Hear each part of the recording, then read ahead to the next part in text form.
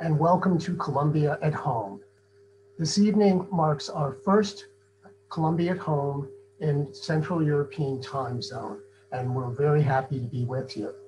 Uh, my name is Ken Catandella, Senior Executive Director of the Columbia Alumni Association and University Relations, and apropos to this evening, co-founder of the Columbia Alumni Association Wine Industry Network. The network is comprised of more than 80 alumni winemakers and winery owners and hundreds of other alums in the wine industry and ancillary businesses. This evening is the fourth installment in our popular World of Wine series, and we will be delving into European wines. And this evening I am joined by uh, three alumni winemakers um, representing three um, largest wine producing nations in the, European Union. Uh, joining me from Italy is Beth Moreno from Venetian Hills in Italy. And she is an alumna of the College of Dental Medicine. Welcome, Beth. Uh, joining us from France and the Rhone Valley is Nicole Rolet. Nicole and her husband Xavier, who is a business school alum, uh, own and operate Chêne Bleu in the Rhone Valley. Welcome, Nicole. And finally, uh, from Spain in Rioja is uh, CEO of the iconic Rioja house, CVNE, Victor Urrutia uh. Welcome, Victor. Good to have you all here and uh, welcome to everyone in the audience. So we're going to just jump right in. And um, the first question is, um, your wine growing regions are very different. And so what I'd like each of you to take a moment to talk about is what unique qualities of your region um, and your vineyard in uh, particular uh, would you like to highlight for us? So Victor, I'm going to start with you.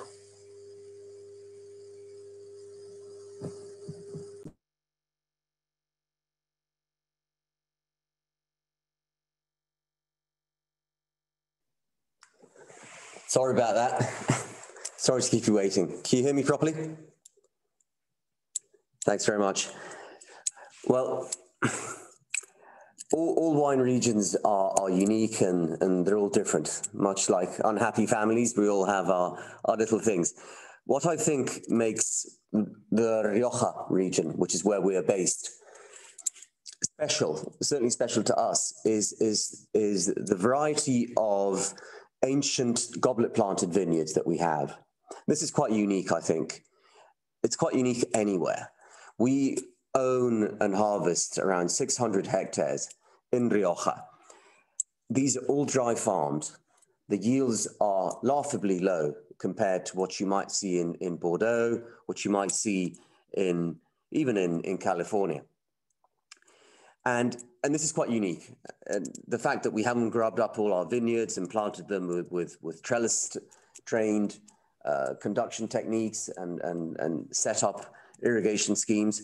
The fact that we haven't done that, I think, is, is well, certainly different. Yeah.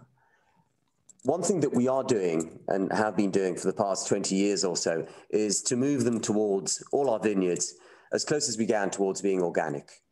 Uh, we're partially there with some of the vineyards we eliminated herbicides a while ago, thankfully, and we're in the process of, of, of, being entirely organic, which will take time, but it's, it's something that is being done in our region in general. Spain has, is, is blessed with a benevolent climate, so it's possibly a lot easier to be organic here than it might be, say, in, in, in Northern Europe, because we get so much less rainfall. But that's what we're trying to do, and that's what makes us different. I'll leave it at that. Thank you, Ken. Thank you, Victor. Um, Beth, I'm going to turn to you next. Hey, Buonasera, everyone. Um, our region is, design, is designated as Asolo Montello DOCG, where high quality grapes are grown for Prosecco Superiore and also red blends. Due to the location of origin, the climate, the geology, they make a winning combination. Our native grapes grow to their best potential here. For Prosecco Superiore, the Glera grape, which makes up 80%, 85% of our wine, along with 15% Perera Bianchetta, uh, is wonderful, as well as other international varieties that thrive here. We have Monte Grappa above us, which is the pre-Alps. It is a Natura 2000 protected area, a habitat for rare species of animals and plants that also gives a unique characteristic and not found anywhere else. Also, there's the medieval city of Asolo, which is a candidate to be part of the UNESCO because of its rich cultural origins. Historically, our region was appreciated by the Romans as a fertile area. They settled on these hills 2,000 years ago. And then the Venetians had their summer homes and lodge, lodging houses here. They transported the food and the wine to Venice for trade and community use. Our wines are an expression of this land. The hills of Asolo are away from the usual touristic path, and it's a treasure to be discovered. Oh, by the way, today, March 25th, is the birthday of Venice. It's 1,600 years old. Amazing. uh, particularly today. Um, about our vineyards, um, what's also interesting about it is that we are 700 feet above sea level. We're nestled on the hills of Asolo in front of Monte Grappa, facing southward over the Venetian plain. This gives us a unique microclimate, mostly being above the fog line and receiving the gentle zephyrs of the Venetian lagoon during the day and the cooling breezes of the mountains at night, enhancing the aromas and characteristics of our grapes. There's an old Venetian um, a hunting lodge about 200 meters above our, uh, our vineyard. That's testimony to the fact that we had a rich land filled with diverse flora and fauna that was highly sought after. There's deers, hares, hawks, wild boars, even chestnut trees, flowering trees like acacias for honey. We have olive trees where we make olive oil from, as well as delicious cherry trees for what Mazara is famous for. It's all abundant in this biodiverse area. All this creates a balanced ecosystem, along with the rich, rich clay soil and marl, which makes our vineyard an ideal place for high quality grapes to produce amazing structured and refreshing sparkling wines. Actually, this is a sample of our soil. If you could see, you could also see there's a little bit of chalk right over here. There's sedimentary things. You could even find little fossils inside and get that gives a mineralistic and very refreshing taste to the wine. Um, we do mostly everything by hand, which is getting to be very unusual right now um, because we want to keep the important traditions alive. So we do hand pruning, trellises are hand adjusted, adjusted. We walk through the vineyards daily. We do hand harvesting. And all this makes a difference in the wine that we produce. There is a minimal intervention and we let the grapes really express the best of themselves. Grazie, Beth. And then finally, Nicole, go to you.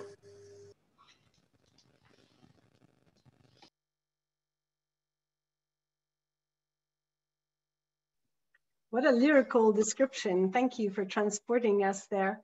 I have uh, reached over to get my own terroir jar uh, because um, it's so interesting to hear the similarities. We are in the south of France, in the southern Rhone, specifically around the Mont Ventoux. So Chêne Bleu is actually perched way up as an eagle's nest in the shadow of the Mont Ventoux, which is also known as the Giant of Provence, because it juts out of the place, uh, the, the plain of Avignon and Châteauneuf-du-Pape, and it towers over the region. It's inspired many poets, artists through time, and it's also home to uh, the UNESCO biosphere of the Ventoux, which protects this off the charts biodiversity and boasts about 1,400 species just of butterflies, which gives you a scale of that um, uh, environment and also it's a Jurassic Park of microorganisms that have been killed off in many other regions. So uh, it's known for its living soils and its cooler climates since the average temperatures of the Ventoux area are cooler than in the neighboring uh, famous wine areas. So in this era of global warming, that's turning out to be a big advantage. Um, we also in our case, sit on top of four appellations. So it's where they all connect at the top of a mountain, Gigondas, and then this up and coming Ventoux appellation, which has been heralded by the press as the next big thing. They're saying it's the next Priorat or uh, one of the most undervalued and exciting emerging regions in France.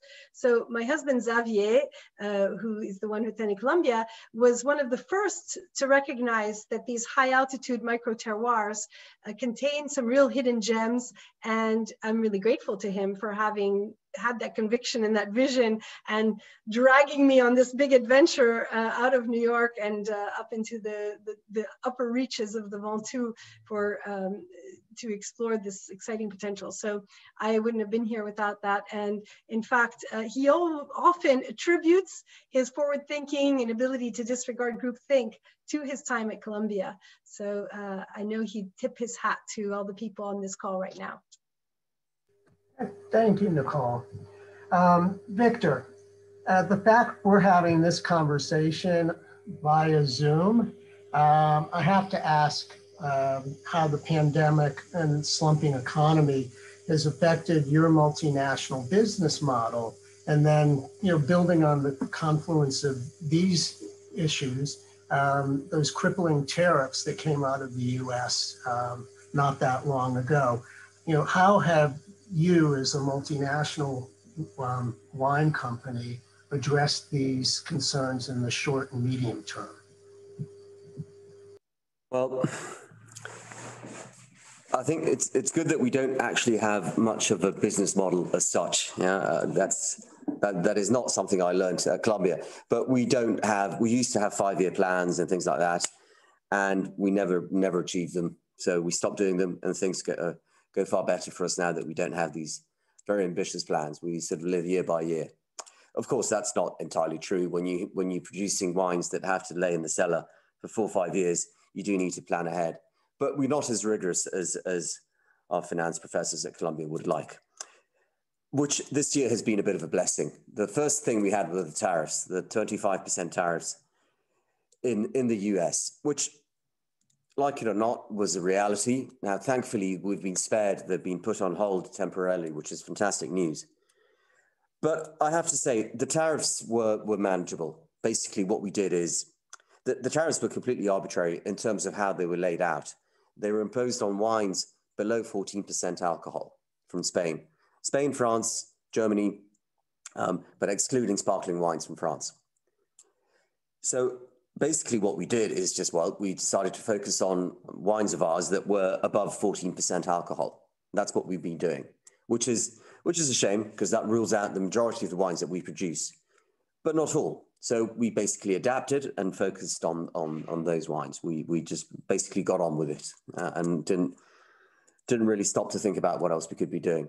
Of course, all this paled in comparison to, to the COVID crisis, which put, an, put a stop to wines below 14 and, and above 14%.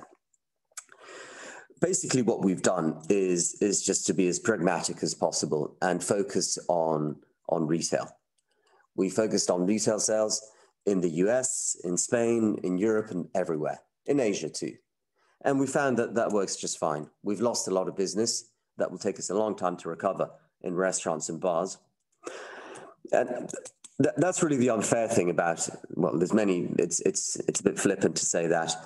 Uh, I, I, don't want to sound superficial. Uh, people have suffered so much because of covid. To think about the sales that we lost is doesn't, doesn't seem entirely fair. But really the reputation i think for wineries is, is built in the on-trade. That's what we thought until now. So that's changed very much.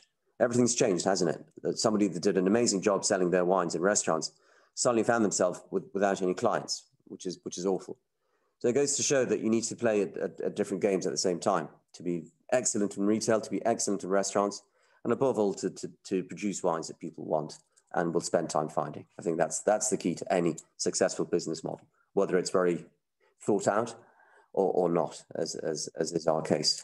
So there we are. All in all, we can't complain. Thank you.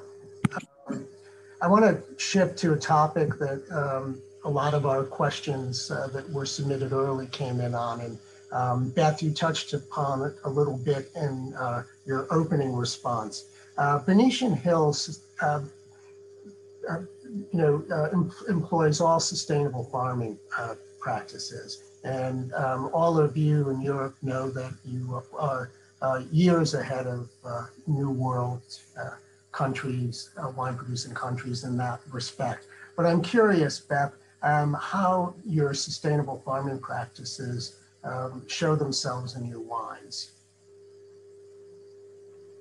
Okay. Well, primum non nocere. Um, first of all, you should not do any harm. Uh, for a couple of years now, we've been certified as a sustainable farm. Besides adhering to the strict regulations of the DOCG region, Italy also has an overseeing entity for sustainable farming.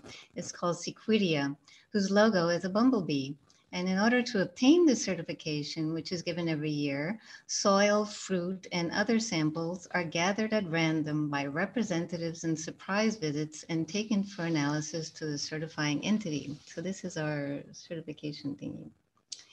Um, just to quickly review organic, biodynamic, and sustainable um, farming, just so for, for everyone. Uh, organic, in the in a nutshell, is limiting the addition of chemicals in the vineyard to eliminate pests and vine diseases. Biodynamic believes in using the rhythms of nature, seasonal and lunar cycles, and other cult procedures to safeguard the vines. Sustainability has a more rounded approach like organic, we limit the agents used in the vineyards. We reuse cuttings of prunings as mulch. We use cover crops in between the vines like mustard and clover to give needed nutrients to the vines and the microbiota so they can live in a balanced symbiotic relationship with the vines. We also use pheromone traps for pests. We also use the rhythms of nature, such as the phases of the moon when it's logical to use it, during the pruning, the bottling, the harvesting, as well as other traditional methods. But not only is the emphasis on the vineyard, sustainability is also taking care of everyone who works in the vineyard so they can work safely and to provide education and innovation to help them take care of the special garden. In addition to that, a vineyard is not an island we look to help our community. And now in this uncertain time, we even had more support of the local tourist and hospitality sectors that have suffered so much. We did numerous programs to collaborate to, with our local guides for virtual tours in the vineyard. We did hikes in the woods, picnics, and programs to highlight the beauties of the territory, and also with local chefs and local food pairings. Actually, there's a recent article by Magali Delmas about sustainable practices and wine quality in Ecological Economics in 2021. They were from UCLA and Bordeaux. And this article highlights that wineries that follow sustainable practices give additional benefits to their wines more than conventional proof wines. I think so, but invite everyone to do their own taste test at home. And Ken, you probably know better than most people, right, about this? Thank you. Uh, I saw Nicole smile at the bumblebee reference. And so uh, I, I think that this is a great segue to talk about the ecosystem uh, at your winery. Oh, I will try to keep it short because I love talking about our ecosystem because it's been so exciting, a gift that keeps giving. And of course, Xavier, who's a hardcore conservationist, has been pursuing sustainability since uh, it was uh, before it was a fashionable hashtag about 25 years ago we started on this. So um, he's also beekeeper and that led us to research the relationship between bees and viticulture ended up creating our sustainability initiative which uh, was a heavily oversubscribed crowdfunding program to fund research with world scientists on how to, how to harness the power of bees to make better wine. Better wine defined as with that sense of, of place and the taste of terroir. And so you, you bring up your bee population, it boosts the cover crops, it, that sucks the carbon. It you it's a great it's great for pest resistance, for biodiversity. It prevents soil erosion, uh, but it also hosts those famous microorganisms uh, which of course break down the soils into the nutrients that not only feed the plants, but also uh, transmit the taste, which is something that has only been known for about a decade now scientifically. And um, I guess it's very helpful to monitor your your microbiome through big data, which is also now available to people affordably.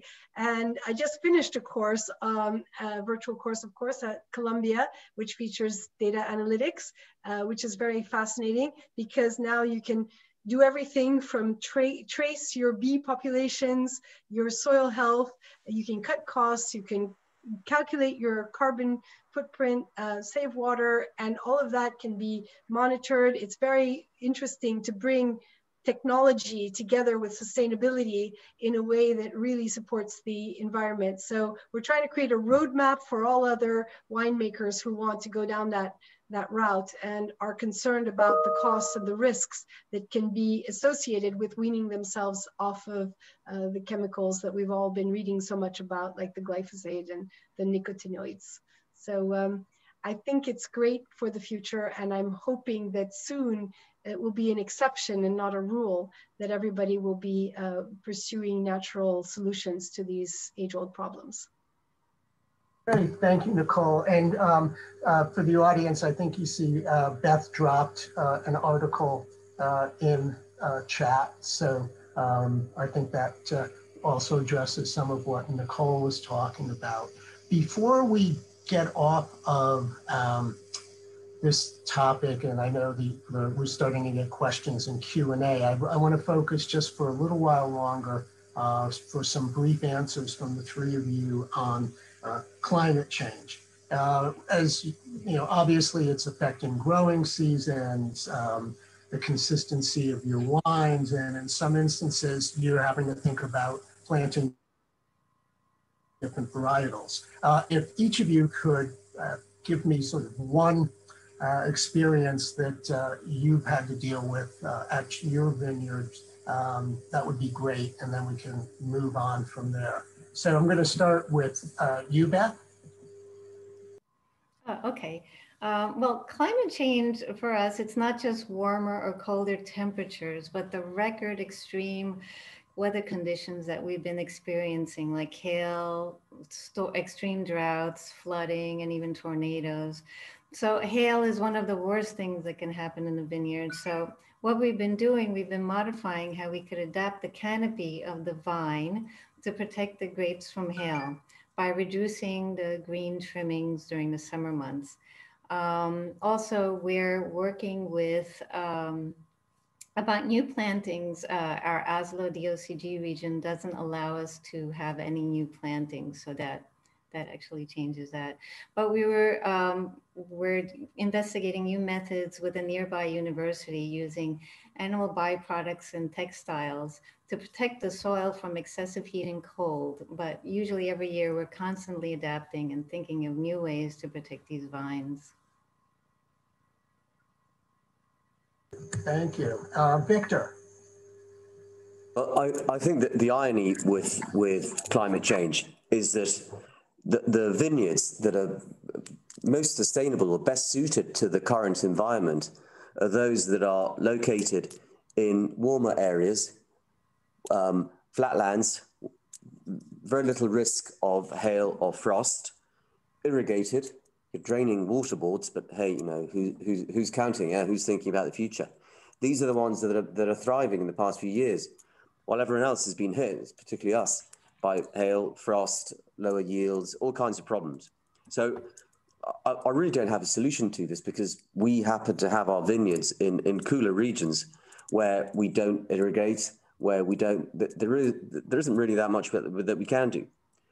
Um, I don't know, somewhat pathetically, what we've been doing in the past few years is to, to have insurance to cover us for, for the calamities of, of, of weather. But other than that, I don't know that there's too much that we can do. It's become fashionable for people to say that they're planting vineyards in, in, in higher regions. But I think all you're doing by doing that is, is uh, increasing the risk of being hit by hail or frost. So commendable as it is, I don't think it's a solution. So sorry, I can't be more positive on this. That's that's what we have. I, that's, I, Victor, I think it's not exactly a positive topic. Um, no. anything else. Uh, Nicole, I can't spin it better than that. Hopefully, I can bring a bit of fun to, to the topic. Uh, I mean, in terms of what we do, we are lucky to have a great big base of Grenache, which is the ultimate eco-friendly superstar. It has deep root system that goes down to the subterranean water tables and makes the trunks very resistant to weather, uh, extreme weather. And we've also planted Vermentino because it helps our rosé, for example, stay fresh without having to use tartric acid uh, like most winemakers in hot climates. So there are a few things on the margin. I would, of course, uh, agree with Victor. However, I did want to uh, try to bring a bit of fun because we spend a lot of time trying to educate people. But I wanted to share with everyone that on the 24th of April, we are um, sponsoring, along with, with other uh, people we know, a big global dance party. And that is for attention to global warming and everybody who participates for free, uh, a tree will be planted for them and uh, we're expecting you know 10,000 people or more. So it's a retro Earth Day party. And if you want, I'll put the uh, information in the chat. So hopefully we can also have a bit of fun while we educate people of the urgency and importance of this. Great, thanks. Yeah, please drop it in the chat. Um, we're starting to get a lot of questions, so I think we're probably just going to move right there. And if we have time, we'll come back to some of our other questions. So Victor, first question for you uh, is the difference, the aging difference between Crianza Reserva and Gran Reserva. Right. Well, my advice here is don't get too hung up on on the technicalities and the specifics rather of this. Yeah, I think it's a very useful system where the entry level would be Crianza, then you have Reserva, and then you have Grand Reserva on top, okay? However, the trouble is that the appellation doesn't really specify that the quality has to be higher for each level, okay? So really what you're doing is you need to find a producer that you like, hopefully CVNE, but there's also many others that I like very much, and basically work, understand their style, and, and, and see how that works for you. Because you do get some unscrupulous producers who might produce the, the exact same with the exact same grapes. They might be producing a Crianza Reserva and Grand Reserva. So all it is, it's an aging requirement. Okay, Crianza is 12 months in barrel and 12 months elsewhere. Reserva, minimum 12 months in barrel, further two years either in barrel or in bottle. Grand Reserva, two years in barrel, three years in bottle. So I, I, I mix this up sometimes I get it confused. I think it's just useful to see as, as a sort of measure of quality. Yeah. But find the producer that you like and, and work with their system. That's, that's my advice. Great, thank you, Victor. Um, next question uh, for Beth. Um, and you did, uh, I think you touched on it. Uh, can you uh, have still wines, particularly red still wines, uh, in your DOCG? Yes, actually. Um, the uh, red wines of Asolo Montello DOCG are very special. The Merlot, Cabernet Sauvignon, and Cabernet uh, Franc grow very splendidly here. We have a limited edition red wine, of which we only produce 2,000 bottles a year. It's matured in large barrels and it's a very unforgettable wine. It's called Pétaros after a native bird that typically arrives in the fall from the north, indicating to us that it's time to pick these grapes. So um, hopefully you'll get a chance to, to taste it. It would be my pleasure. Great, thank you. And um, Nicole, in 60 seconds or less, uh, consumer facing, do you think that um, DOCs and IGPs are helpful to the consumer? What, in 60 hours or less? No problem. I have a few views on the subject, but to keep it short, um, I'm probably the wrong person to ask because I'm appellation agnostic. I've seen too much the politics, the infighting, um, alliances, all sorts of things. So I believe that although the AOCs have a very good place uh, and they definitely deserve to a bit of attention, you also have to unlearn about 40% of what you've learned uh, about all these AOCs because the realities don't often match up.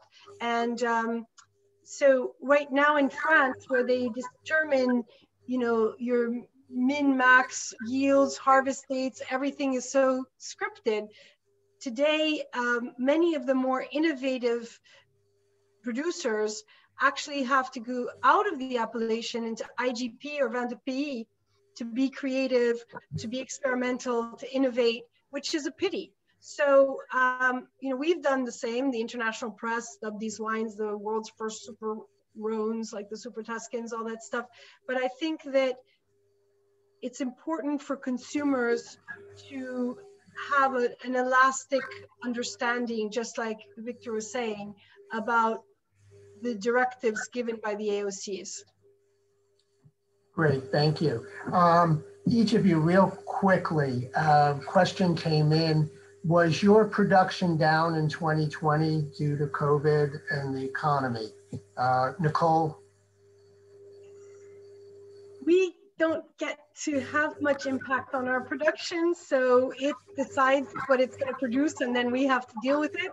So we um, had a short year for other reasons, uh, some weather related reasons, but our sales were definitely down in the first part of the year and we had to pivot very significantly and completely rethink our distribution uh, to, to have production and sales match up. Don't forget about the lag time.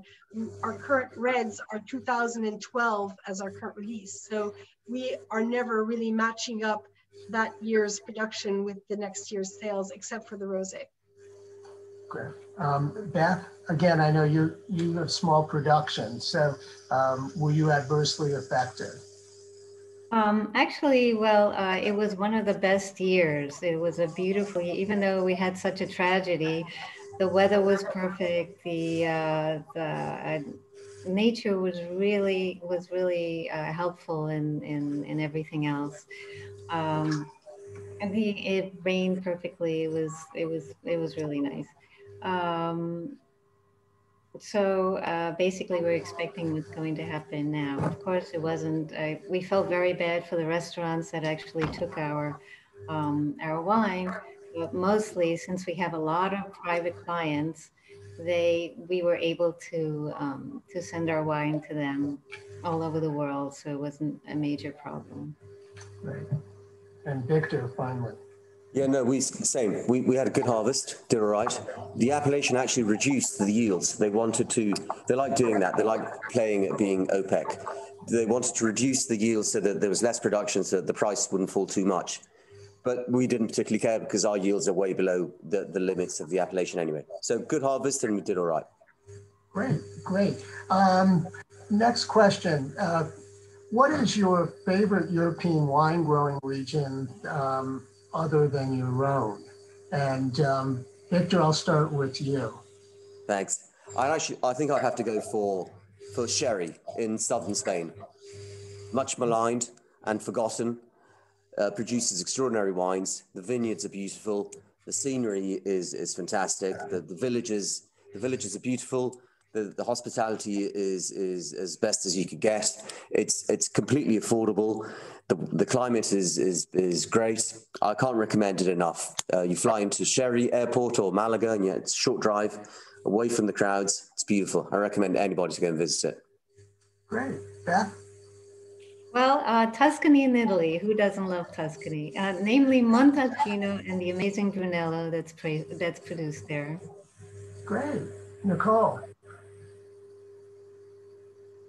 I have to say I'm a Burgundy hound. I uh, like a lot of Rhone producers. When I'm not drinking Rhone wines, I'm drinking Burgundy as a, a to offset because stylistically they're so opposite.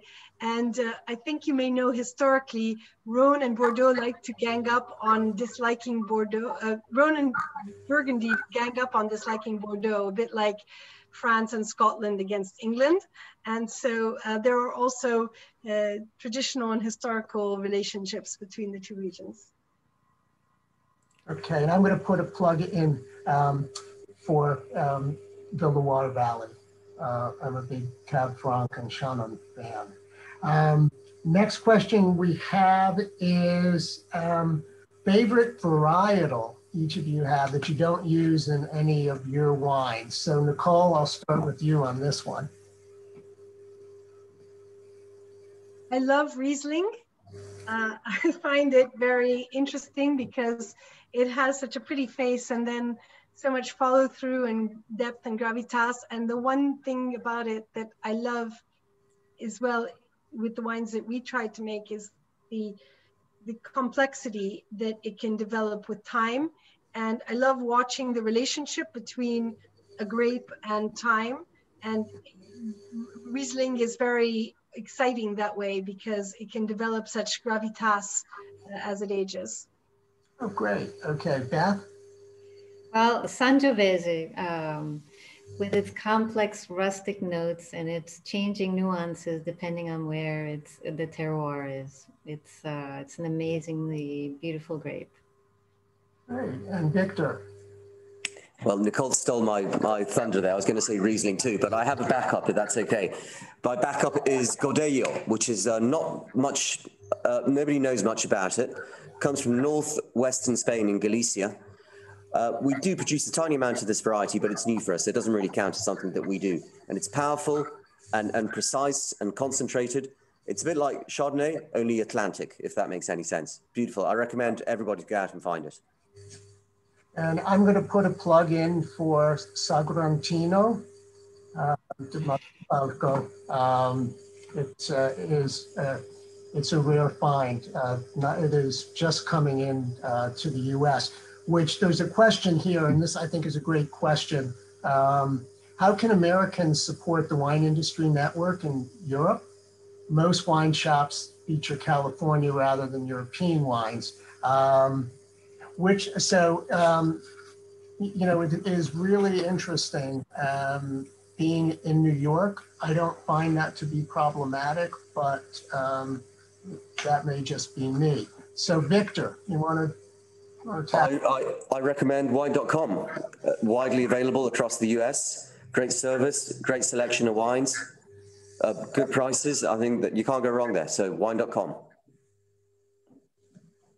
Um, Nicole? I think uh, that because of the tariff problem that most consumers in America are not aware of, so many European wines have been knocked off the shelves. And because there are so many choices, other wines, especially US wines, will have taken their place. And I think the only thing would be to ask wine shop people and restaurants when they open up uh, to look out for not just European wines, but smaller producers in particular. And we have a program uh, called hashtag Drink Small Hero, because in this pandemic, so many people have gone to big brands with big budgets, big marketing spends, and some of the little producers have been left behind. So if you're looking for smaller European brands, you're doing a real favor to all the little guys who were caught in the crossfire in the tariff wars between Boeing and Airbus and feel very unfairly penalized for things very much out of their control. So thank you. Okay. Beth, anything you want to add? Well, um, it's always good to actually support even small distribution uh, distributors or small little neighborhood retail stores because if you know them, then then they could actually actually try to get a, a wine and that um, that that you would be favored with. The other thing is to look for people online. A lot of people are actually um, selling wine directly from their winery, which is a possibility. So. Um, you could help by doing that too. Yeah, great point. Great point. Quick show of hands. Do any of you make um, uh, produce low sulfate wines? Beth, you do? Uh, uh, all three of you. Okay, so um, this was not this question uh, a little bit uh, enlightened self-interest that came from my brother-in-law in Athens. So, Georgie, uh, you now know where to purchase some great wines uh, with low sulfates. Um, next question. Uh, quickly, all off your favorite off the beaten path wine region in Europe. Nicole, you're nodding, so go ahead. I was going to recommend Bulgaria as truly uh, unspoiled and pristine. And if you look at wines like Terra Tangra by Alexander Bacharov, uh, it, it, can show you that you can make Grand Crus even there. So uh, definitely worth getting to know Bulgarian wines. Great. Beth? Um, Actually, I would. Uh, there are really up and coming uh, German wine regions near the Moselle, near uh, near Frankfurt, that are um, really stupendous right now. They're trying their best, and they're really amazing wines that you would never think that they would uh, be there because it's they're new wineries, so they're worth actually tasting. Great, Victor. Canary Islands, off the coast of Africa. Yeah. Beautiful wines since Shakespeare's times now there's some new producers or newer producers doing amazing wines, very delicate, really interesting. And it's beautiful visit also. Great, great. And um, I'm going to put a plug in for Le Marche. Um, it is sort of the forgotten region of Italy. Uh, a terrific wine um, at, at, a great price point. We're getting a ton of questions about how Brexit is affecting uh, your sales. So um, Victor, I'm going to start with you.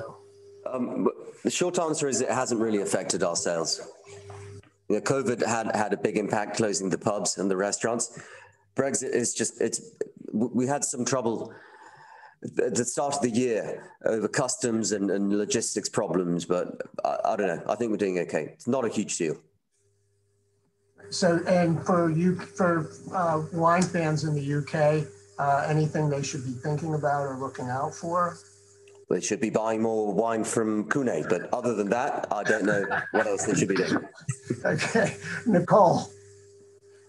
I'm concerned it hasn't really hit yet. I think um, we are very dependent on the on the restaurants and the sommeliers. So of course that's not been good this year, but um, don't think that the knock-on effects have fully been uh, integrated because all the people who were working here from the continent are, are leaving or going home or not coming back. And so I think that that European wines are likely to be less represented uh, in the future. So although we haven't been impacted yet, I'm concerned that we will be soon. Okay, and Beth?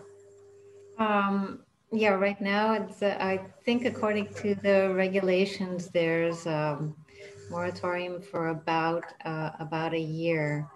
So we don't really know the impact yet, like Nicole said. Um, but I'm sure it's not going to be very good for uh, for English consumers, and I don't think it's fair at all. Yeah. Um, that said, does anybody have any uh, suggestions for good UK wines? I think the fizz, yeah, the fizz is good. Yeah. Sorry, sorry. Are you? Sorry. Uh, yeah, I would. I would uh, personally recommend a, a, couple of the sparklings that I've gotten to know quite well. Uh, Ambriel, for example, and uh, Exton Park would be two that come to mind. Right, Victor. Uh, Domaine de Evremond is going to be released very soon. It's done by um, a collaboration between Taittinger from Champagne and an English gentleman. And uh, I've tasted samples and it's going to be amazing. So that's one to look out for. Great. Beth? Um, I'm not really familiar with any, I'm sorry. All right. Um, so questions that we're getting, can uh, people visit your wineries? Of course, they must. All right. Yes, as soon as we get out of the red zone, everybody's welcome, uh, or at least even virtually. Bet your boots. Uh, we restored the medieval priory to the nines, and last year we won a trophy for best wine tourism France, just in time for the pandemic. That was fun. Um, and um, we also run the world's top rated wine course for wine enthusiasts called Extreme Wine, not for the faint of heart. So uh, hope you'll come and I'll put the links in the chat. Great. And um, getting questions here about, uh, and this is a pretty broad question, but uh, if you want to sort of isolate it to uh, one or two of your wines, best vintages, um, Victor, in recent years. Right. I was, gonna, say 1947, 59. Uh, if you can get your hands on those, make sure you drink them. Recent vintages, well, for, for Imperial, we only release in vintages that we consider exceptional. So really, there aren't any bad ones. The bad ones we, we just keep for ourselves. Um, I like very much uh, 2010, 2011, 2017 is is because we have the frost. It's not well regarded in Europe, but I think it's excellent. 18 is a cool vintage. It's very good. I don't know. I think it's it's worth uh, finding that there's bad vintages. The, with top wines, you don't have bad vintages. You have different vintages. Yeah. Well, for the Peteros, uh, our 2015 was very good, but we finished that. So, but our 2016 is very great because we, we bought it uh, about six months ago.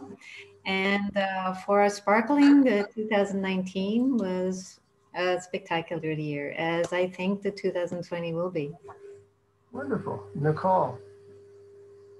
We make reds as well as whites and rosés. So the cooler years tend to be better for the, the whites and rosés. And I would recommend the 2008 for Aliot and um, the 16 and 19 rosés were very good. But the um, reds, I would recommend the Rhone blessed with quite a few good vintages in a row, but the nines and 13s in particular would be my picks. The 13 Abelard and Héloïse hasn't been released yet. Great. Okay. Um, your favorite food pairing with one of your wines? Um, Beth, I'll start with you. Oh, thank you. Well, now in the spring, there's a special risotto with bruscandoli. It's wild asparagus picked by hand by locals in narrow dales, and that's really delicious with our um, Prosecco Superiore Brut. Or even just a slice of prosciutto San Daniele, which I'm going to have later on, and then homemade bread. Excellent. Nicole. Our white wine Aliot, which is a Roussanne blend, tends to be perfect for very hard to pair foods. So if you're ever stuck with artichokes, asparagus, truffles, all of those complex flavors, I always reach for that one. But if you try it with a very delicately cooked scallop in this really rich, creamy sauce, I think you you die and, and go to heaven. Okay. And Victor. I hope we don't, that doesn't happen, Nicole, that we don't actually die, but, but it sounds great. Probably much more appealing than, than, my recommendation, which is, I was just thinking, all our aged reds, all our Grand Reserves, they have a, a thin line of acidity that cuts through a, any savory meat dish. And that, that's a perfect companion. The, the, the tannins have melted and it just goes hand in hand with the meat. So savory meat dishes, any one of them, eh, stews, any kind, that's, that's, that's, that works. Excellent. Um, so as is our tradition at the end of one of our um, World of Wines, uh, we like to toast to all of you for uh, spending an hour of your evening with us. And so I'm going to go around and let everyone uh, let us know what they're going to toast you with. So I'll start with Beth.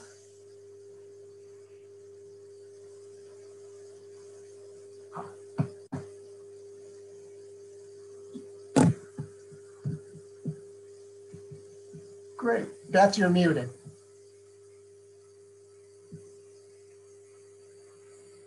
Sorry, I was muted. Yes. okay, it, uh, this was our Rosé Cuvée Prestige, which is 90% Merlot uh, and um, and 10% Pinot Noir. Great, Nicole. So, uh, we're gonna, we'll wait and we'll we'll we'll toast together. Okay, okay.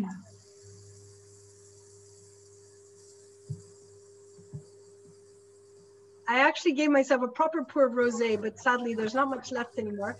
I uh, recommended this one, our Le Rosé, because it's a gastronomic rosé, but the main thing is I'm trying to usher in spring. I'm trying really hard with all these uh, accoutrements to get the weather to turn so we can all be outdoors toasting and celebrating a bit together in safe conditions. So that was my, my call to springtime.